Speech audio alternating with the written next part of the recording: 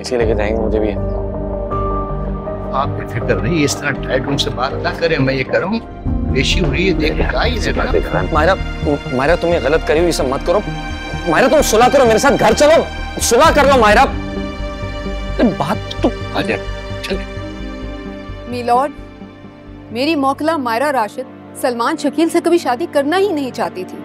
क्योंकि सलमान, शकील बचपन से लेकर जवानी तक और शादी से पहले भी और शादी के बाद भी अब तक मेरी मौकला को टॉर्चर करता आया है अब्यूज करता आया है और मारता पीटता आया है।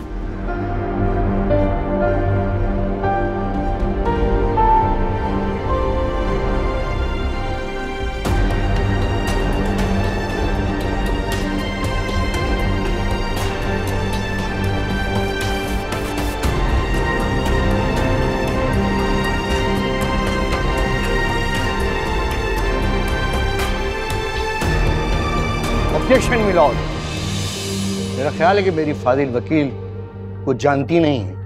अपने होश हवास में समझदारी के साथ इस निकाह को कबूल किया। इसलिए केस सरासर बेबुनियाद दैट्स ऑल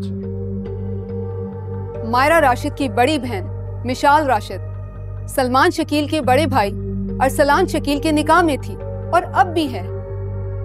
इसलिए एक बार फिर मेरी मौकला मायरा राशिद ने। अपनी बहन का निकाह और शादी बचाने के लिए मजबूर हो गई।